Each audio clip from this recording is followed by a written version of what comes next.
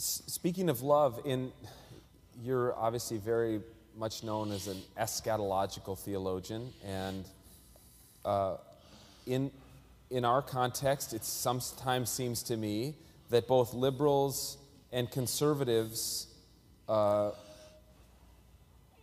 have a kind of a negative view of the end, the end times, Jesus' return. Uh, For liberals, it's more of like, you know, well, our churches are shrinking and society's getting more banal and we're wringing our hands at things getting worse. And for more conservative readings of the Bible, it's when Jesus comes back, I mean, it, there's, there's going to be a shitstorm. Like, things are going to get really bad when Jesus comes back. And it seems to me that it was good news. It was good news when Jesus came the first time. It's going to be good news when Jesus comes the next time. But this is not the overwhelming consensus of what Jesus' return, what the parousia will mean for us.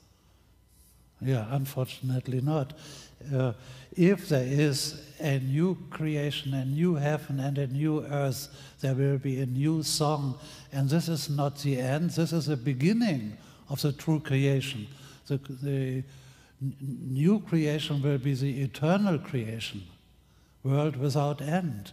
Uh, so we, we must look forward not to the end, but to the beginning.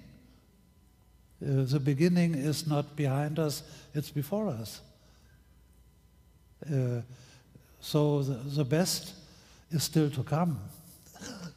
But this is perhaps true to uh, a certain type of dispensationalism, which is not a Christian idea. No.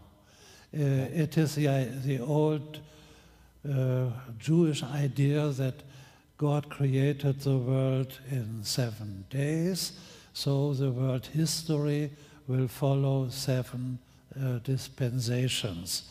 And uh, with every dispensation, the, the world will grow older and older. And the time, our time is running out and uh, it's uh, coming shorter and shorter to the end.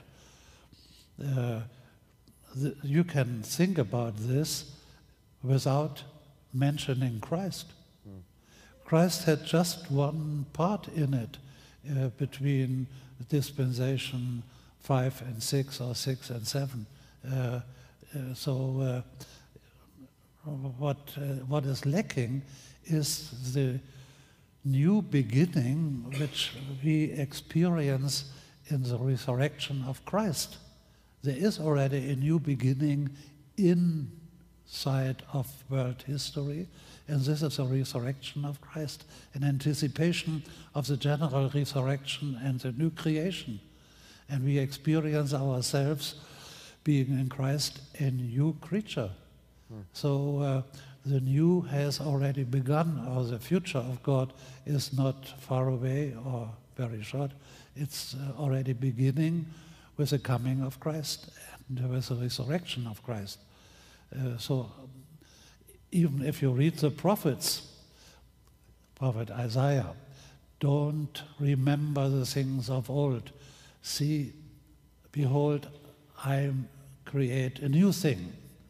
So old and new is uh, are the categories of God's working in world history, not one dispensation after another ins- until we are through uh, with these dispensations.